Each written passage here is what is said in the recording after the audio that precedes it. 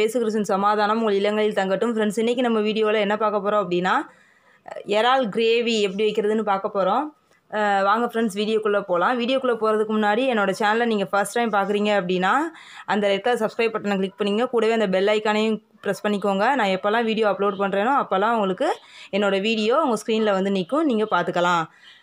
வாங்க ஃப்ரெண்ட்ஸ் தேவையான பொருட்கள் என்னென்னு பார்க்கலாம். எறால் கிரேவிக்கு. ஒரு அரை கிலோ இறாலை வாங்கி நல்லா நாலஞ்சு தடவை அலசி வச்சுருக்கு. ஃப்ரெண்ட்ஸ் இறாலை வந்து முதல்ல நல்லா ஃபஸ்ட்டு அலசிக்குவோம். ஏற்கனவே க்ளீன் பண்ணி கொடுத்துருக்காங்க. நல்லா அந்த கடைக்காரங்களேவும்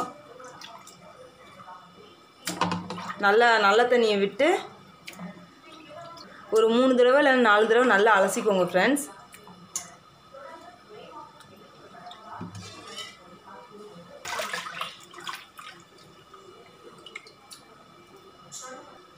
மூணு தடவை அலசுறாங்க எங்கள் அத்தை.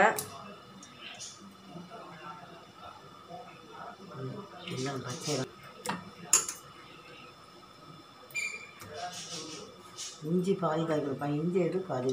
ஃப்ரெண்ட்ஸ் இறாலை வந்து நல்லா அலசியாச்சு. எடுத்துக்கோங்க இந்த மாதிரி. கடைக்காரங்களே இந்த மாதிரி க்ளீன் பண்ணி கொடுத்துக்குவாங்க கொடுத்துருவாங்க.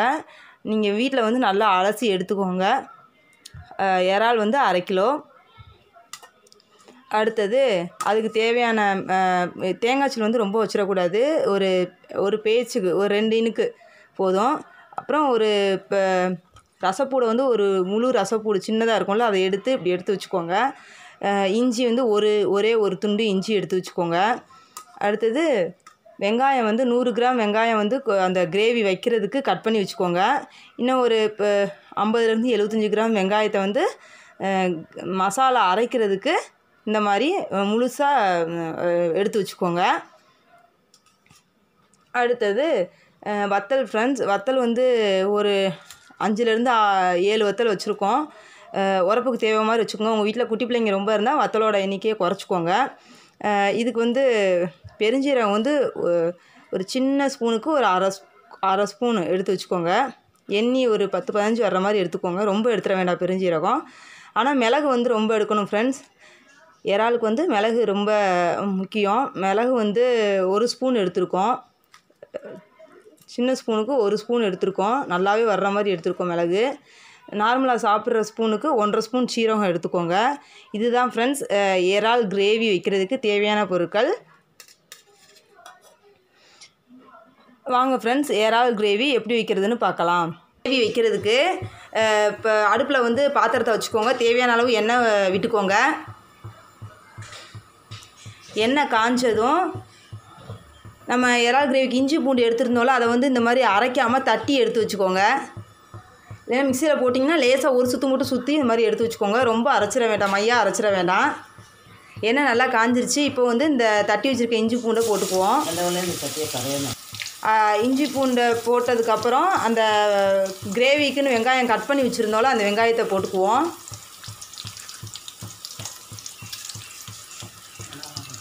அடுத்தது அந்த இறாலை போட்டுக்கோங்க. இந்த இறால் வந்து நல்லா நல்லா வேகணும். சுருளில் வேகணும். இந்த எண்ணெயிலேயும். இது நல்லா இப்படி கிளறி விட்டுக்கோங்க.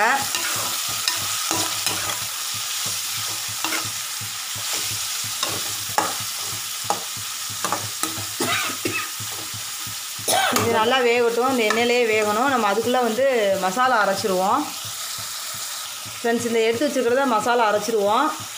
ஃப்ரெண்ட்ஸ் இப்போ வந்து லேசாக அந்த வெங்காயத்தை போட்டு ஒரு சுற்றி சுற்றிக்குவோம் ஃப்ரெண்ட்ஸ் மசாலா அரைச்சாச்சு. வெங்காயத்தையும் போட்டு சேர்த்து அரைச்சி ரெடி ஆகிடுச்சு மசாலா. இந்த மாதிரி நல்லா பா நல்லா இப்போ கிளறி கிளறி விட்டுக்கோங்க. இப்போ நல்லா கலர் மாதிரி வருது. இன்னும் நல்லா வேகணும். வெந்ததுக்கப்புறம் மசாலா போடணும். அந்த போட்டிருக்க வெள்ளைப்பூடு இஞ்சி இறால் மூணுமே அந்த எண்ணெயில் நல்லா சுருளை வேகணும். அந்த அளவுக்கு வெயிட் பண்ணணும். அவசரப்பட்டு மசாலா ஊற்றிடக்கூடாது இல்லை எங்கள் அம்மா வாங்க மாட்டாங்க. இந்த மாதிரி அடிப்பிடிக்க ஆரம்பிக்கும் போது அப்படி லேசாக அப்படி இப்போ அந்த இறால் வந்து இப்போ குத்தி குத்தி கிண்ட கிண்டிடக்கூடாது. இறால் வந்து உடஞ்சிரும் கரைஞ்சிரும். லேசாக அப்படி பட்டும் படாமல் கிண்டணும். கிண்டி கிண்டி விட்டுக்கோங்க அந்த மாதிரி. இப்போ வந்து நல்லா வெந்துருச்சு ஃப்ரெண்ட்ஸ் சுருளில் வெந்துருச்சு. இப்போ வந்து மசாலா ஊற்றிக்கலாம் மசாலாவை ஊற்றியாச்சு மிக்சி ஜாரை அலசி ஊற்றிக்கோங்க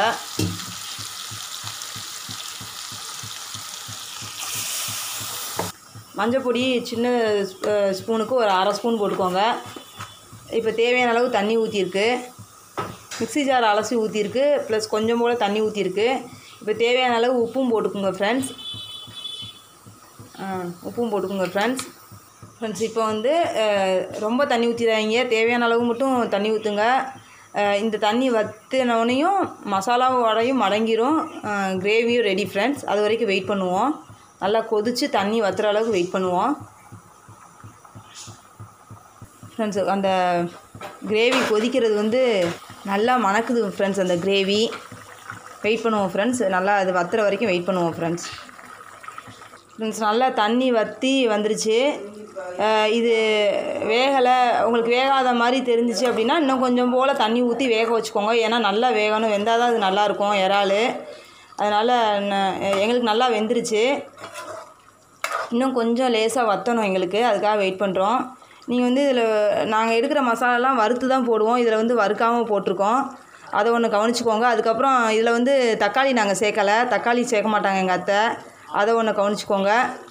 மறந்துடாதீங்க ஃப்ரெண்ட்ஸ் ஃப்ரெண்ட்ஸ் சுவையான எறால் கிரேவி ரெடி ஃப்ரெண்ட்ஸ் நல்லா கிரேவி பதத்துக்கு வந்துருச்சு.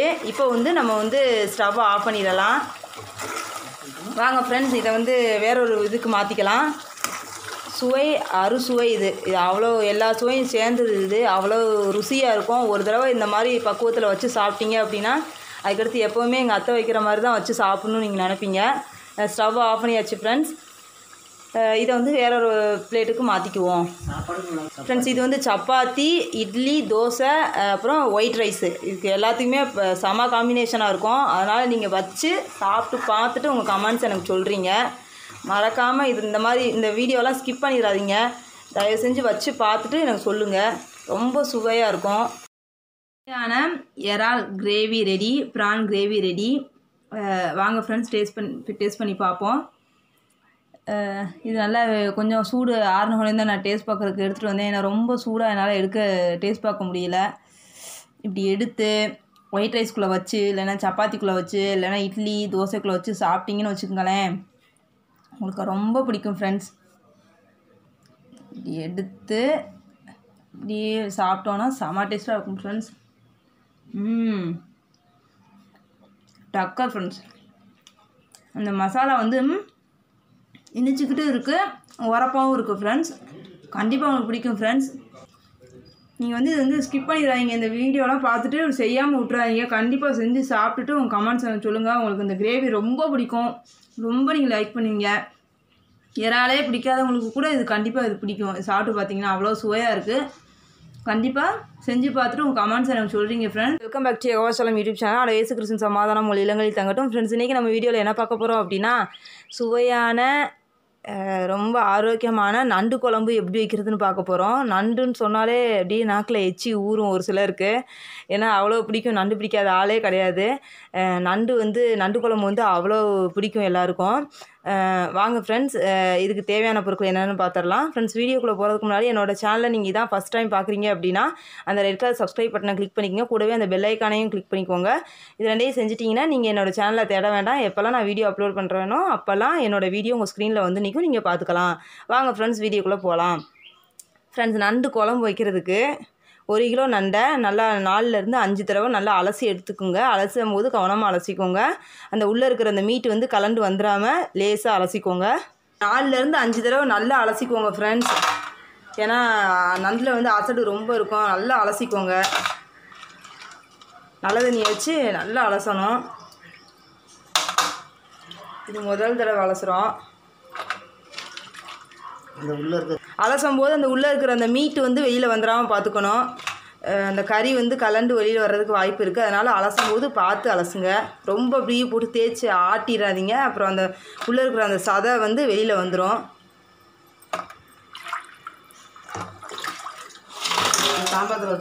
ஃப்ரெண்ட்ஸ் இப்போ கடைசி தடவை அலசுகிறோம் நல்லா தண்ணி தெளிவாக வர்ற வரைக்கும் அலசிக்கோங்க. அலசி எடுத்து வச்சுக்கோங்க.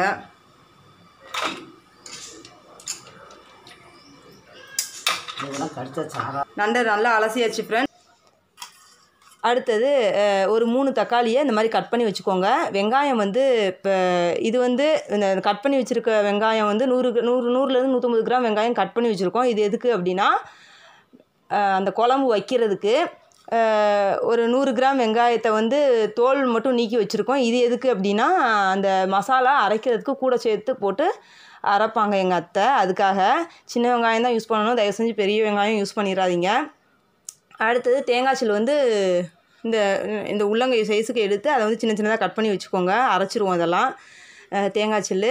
அடுத்தது ஒரு சின்ன வெள்ளைப்பூடு ரசப்பூடை எடுத்து இந்த மாதிரி எடுத்து வச்சுக்கோங்க. நண்டு குழம்புக்கு இஞ்சி கிஞ்சி இஞ்சியெல்லாம் வைக்க தேவை கிடையாது. யாரும் வச்சிடாதீங்க.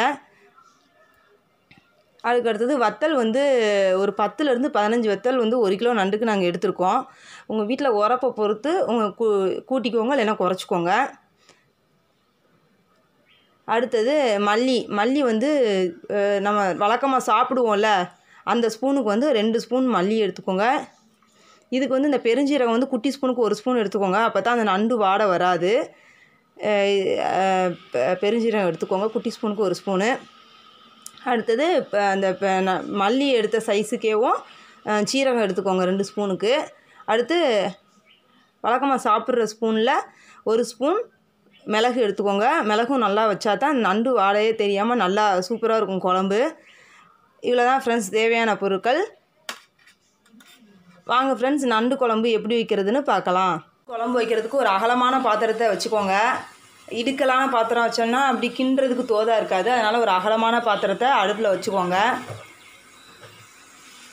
பாத்திரம் நல்லா காஞ்சதும் அதில் எண்ணெய் சேர்த்துக்கலாம்.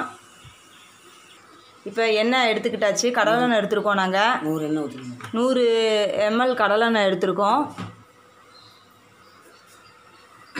இது நல்லா காயிற வரைக்கும் வெயிட் பண்ணுவோம். ஃப்ரெண்ட்ஸ் எண்ணெய் நல்லா காஞ்சிருச்சு. இப்போ எடுத்து வச்சுருக்க தக்காளியும் வெங்காயத்தையும் போட்டுக்குவோம். போட்ட உடனே நண்டு தூக்கி போட்டுக்கோங்க. ஒவ்வொன்றா தூக்கி அதில் போட்டுக்கோங்க.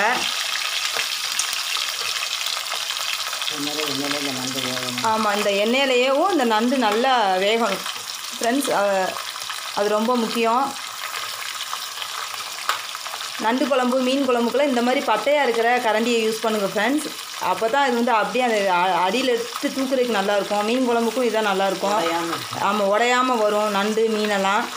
குழிக்கரண்டியை யூஸ் பண்ணோன்னா அது எடுக்கிறதுக்கே தோதாக இருக்காது. அதனால் இந்த மாதிரி கரண்டியை யூஸ் பண்ணுங்கள் மீன் குழம்புக்கும் நண்டு குழம்புக்கும் இந்த மாதிரி அகலமான பாத்திரத்தை யூஸ் பண்ணுங்கள் இதுதான் ரொம்ப நல்லாயிருக்கும் இப்போ நண்டை எல்லாத்தையும் எடுத்து போட்டாச்சு இதில். இப்போ இப்படியே இருக்கட்டும். கொஞ்ச நே ஒரு கொஞ்ச நேரத்துக்கு இருக்கட்டும். அதுக்கப்புறம் இதை வந்து எப்படி பெரட்டி விடுவோம்? கொஞ்ச நேரத்துக்கு இப்படி இருக்கட்டும். ஃப்ரெண்ட்ஸ் இந்த எண்ணெயிலேயே இந்த நண்டு வேகணும். அப்போ தான் அந்த முரண்டை வாடை வராது. அதனால் இது இதிலையே வேக வச்சிடணும் நல்லா. எங்கள் அத்தை வைக்கிற சமையலில் சிக்கனாக இருக்கட்டும் அதே மாதிரி மீனாக இருக்கட்டும் அதே மாதிரி நண்டு இறால் இந்த நாலு ஐட்டமேவும் அந்த வாடை வந்து சாப்பிடும்போது வராது. சிக்கன்லாம் அப்படி பூவாக வெந்திருக்கும். அந்த அதில் வந்து ஒரு வாடை வரும்ல பச்சை வாடை ரத்த வாடை சிக்கன்லலாம். அதெல்லாம் வரவே வராது. அவ்வளோ பக்குவமாக வச்சுருவாங்க. நல்லா அடுப்பில் வைப்பாங்க. ரொம்ப நேரத்துக்கு வச்சு எடுத்தவங்க ஊத்தோன்னு செய்ய மாட்டாங்க. நிதானமாக செய்வாங்க. அதனால் அந்த வாடை வரவே வராது எங்கள் அத்தை வைக்கிற சமையலில். இப்போ வந்து இதை பிரட்டி விட்டுக்கலாம். பதமாக பிரட்டி விடணும்.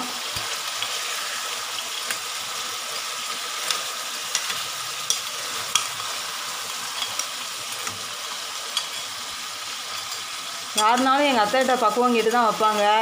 எங்கள் அம்மாவேவும் கேட்பாங்க எங்கள் அத்தைகிட்ட எப்படி மது நீ இதெல்லாம் வைக்கிறீங்க? அப்படின்னு கேட்பாங்க கேட்டு தான் வைப்பாங்க எங்கள் அம்மா. அந்த அசைவம்லாம் நல்லா சமைப்பாங்க எங்கள் அத்தை. இந்த மாதிரி பதமாக அப்படி திருப்பி திருப்பி விட்டுக்கோங்க ஃப்ரெண்ட்ஸ் அது மாதிரி பக்கத்தில் இருக்க வீட்டில் இருக்கிறவங்களும் எங்கள் அத்தையிட்ட கேட்டு தான் கருவாட்டு குழம்பு. எல்லாத்துக்குமே எங்கள் அத்தையிட்ட தான் அந்த பக்குவம் கேட்பாங்க. இப்போ எல்லாத்தையும் நல்லா அப்படி ஒரு பெரட்டு பெரட்டி விட்டாச்சு ஃப்ரெண்ட்ஸ் இப்போ மறுபடியும் இது கொஞ்சம் நேரத்துக்கு இப்படி வேகட்டும். இந்த கருவாட்டு குழம்புலாம் அவ்வளோ சூப்பராக வைப்பாங்க. ரொம்ப பிடிக்கும் எனக்கு. நான் வந்து எங்கள் அம்மா வீட்டிலேருந்து வரும்போது இந்த கருவாட்டு குழம்புலாம் சாப்பிடவே மாட்டேன். இங்கே வந்து தான் எங்கள் அத்தைகிட்ட வந்து தான் அதெல்லாம் பழகியிருக்கேன். சாப்பிட்றதுக்கேவும். அசைவம் சாப்பிட்றதுக்கு அதிகமாக பழகினது இங்கே கல்யாணம் பண்ணி வந்ததுக்கு அப்புறம் தான் அவ்வளோ ருசியாக வைப்பாங்க எங்கள் அத்தை. நல்லா வேகுது. வேகிறது தான் இதில் முக்கியம். நண்டு இறால் இதெல்லாம் இது நல்லா வேகிறதுக்கு டைம் கொடுக்கணும் நம்ம. அவசரப்பட்டு மசாலா ஊற்றிடக்கூடாது ஸோ முரண்டை வாடை வரும். ஸோ இது நல்லா வேகட்டும் ஃப்ரெண்ட்ஸ் இது கொஞ்சம் டைம் டேக்கிங் ப்ராசஸ் தான். இப்போ வச்சு ஒரு ரெண்டு நிமிஷம் மூணு நிமிஷம் ஆயிருக்கு. மூணு நிமிஷம் கழிச்சு தான் இப்போ அடுத்த பக்கம் பரட்டி போட்டிருக்கோம். அடுத்த பக்கம் பரட்டி போட்டு இப்போ ஒரு மூணு நிமிஷம் ஆகுது. மறுபடி பரட்டி விட்றோம் நாங்கள்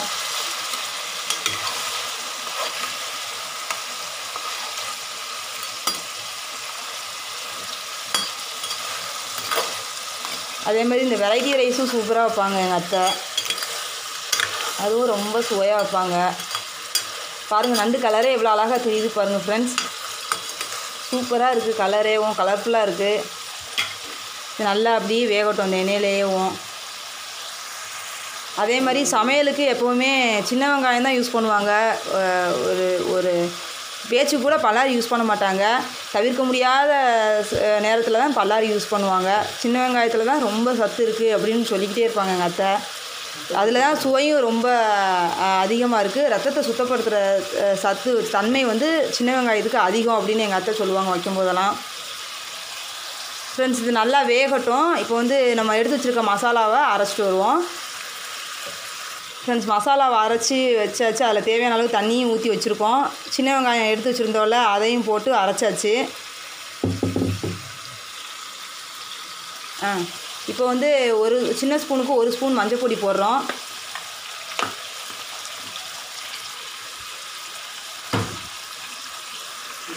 இப்போ அரைச்சி வச்சுருக்க மசாலாவை ஊற்றிடுவோம் ஃப்ரெண்ட்ஸ் நண்டு நல்லா வெந்ததுக்கப்புறம் தான் இப்போ நாங்கள் மசாலா ஊற்றுறோம் ஒரு பத்து நிமிஷத்துக்கு நல்லா வச்சு வேக வச்சிட்டோம். அந்த எண்ணெயிலேயேவும். அது இந்த இப்போ தேவையான அளவு தண்ணி ஊற்றியாச்சு ஃப்ரெண்ட்ஸ் இப்போ வந்து இது நல்லா கொதிக்கணும்.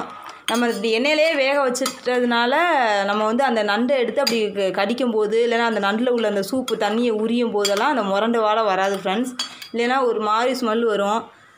இது வந்து பத்து நிமிஷத்துக்கு நல்லா வேக வச்சாச்சா அதனால் நம்ம ஸ்மெல்லே வராது. நீங்களும் இந்த மாதிரியே ட்ரை பண்ணுங்கள் ஃப்ரெண்ட்ஸ் இப்போ தேவையான அளவு உப்பு போட்டுக்கோங்க ஃப்ரெண்ட்ஸ் உப்பு போட்டுட்டு இது வந்து நல்லா கொதிக்கட்டும். கொதிக்கிற வரைக்கும் வெயிட் பண்ணுவோம். ஃப்ரெண்ட்ஸ் இப்போ வந்து மசாலா அந்த மசாலா நல்லா கொதித்து கொஞ்சம் லேசாக வத்தி வரும்போது மசாலா வடை அந்நேரம் அடங்கிரும். அந்நேரம் நண்டு குழம்பு ரெடி ஃப்ரெண்ட்ஸ் ரெடி ஆயிரும். ஸோ கொஞ்சம் வெயிட் பண்ணுவோம் கொஞ்சம் நேரத்துக்கு. வெயிட் பண்ணுவோம் நல்லா கொதிக்கட்டும் ஃப்ரெண்ட்ஸ் ஃப்ரெண்ட்ஸ் அப்படி பெரட்டி விடுறதுமேவும் அடியில் விட்டு கையை விட்டு லேசாக பட்டும் படாமல் பெரட்டி விடணும். மீன் குழம்புக்கு மாதிரியே தான் இதை பெரட்டி விடணும். நம்ம வாக்கில் குத்தி குத்தி கிண்டிட்டோன்னா அவ்வளோதான் நண்டு எல்லா மீட்டும் கலந்து வந்துடும் சதையெல்லாம் வயிற்றில் உள்ள சதையெல்லாம் வெளியில் வந்துடும் இப்போ நம்ம நண்டு சாப்பிட்ட மாதிரியே இருக்காது. அதனால் பதமாக தான் இதை கிளறி விடணும் ஃப்ரெண்ட்ஸ் இது நல்லா கொதிக்கிற வரைக்கும் வெயிட் பண்ணுவோம் ஃப்ரெண்ட்ஸ் ஃப்ரெண்ட்ஸ் பாருங்கள் சூப்பராக கொதிக்குது. இது நல்லா கொதித்து கொஞ்சம் வத்துற வரைக்கும் வெயிட் பண்ணுவோம் ஃப்ரெண்ட்ஸ் நல்லா மணக்குது நல்லா கொதித்து கொஞ்சம் வத்திருச்சு. இந்த பக்குவத்தில் வந்து அடுப்பை ஆஃப் பண்ணிடலாம் ஃப்ரெண்ட்ஸ் நல்லா ச ஜம்முன்னு மணக்குது நண்டு. இப்போ வந்து அடுப்பை ஆஃப் பண்ணிட்டோம்னா நண்டு குழம்பு ரெடி ஃப்ரெண்ட்ஸ் அடுப்பை ஆஃப் பண்ணிடுவோம். சுவையான நண்டு குழம்பு ரெடி ஃப்ரெண்ட்ஸ் இதை வாங்க வேறொரு பவுலுக்கு மாற்றிக்கலாம் சுவையான நண்டு குழம்பு ரெடி ஃப்ரெண்ட்ஸ் இதை வந்து அப்படியே ஒயிட் ரைஸுக்கு வச்சு சாப்பிட்டிங்கன்னா செம்ம டேஸ்ட்டாக இருக்கும். நீங்கள் வந்து வச்சு சாப்பிட்டுட்டு உங்கள் கமெண்ட்ஸை எனக்கு சொல்கிறீங்க ஃப்ரெண்ட்ஸ் நெஞ்சு சளி இருக்கிறவங்கலாம் இது அதிகமாக வச்சு சாப்பிடலாம். நண்டு அடிக்கடி உணவில் சேர்த்துக்கோங்க. இந்த வீடியோ உங்களுக்கு பிடிச்சிருந்துச்சி நீங்கள் லைக் பண்ணீங்க அப்படின்னா மறக்காமல் உங்கள் ஃப்ரெண்ட்ஸ் அண்ட் ரிலேட்டிவ்ஸ்க்கு என்னோட லிங்க்கை ஷேர் பண்ணுங்கள் மறக்காமல் என்னோட எகோவாசலம் யூடியூப் சேனலை சப்ஸ்கிரைப் பண்ணுங்கள் ஃப்ரெண்ட்ஸ் உங்களை நெக்ஸ்ட் வீடியோ மீட் பண்ணுறேன் bye and take care friends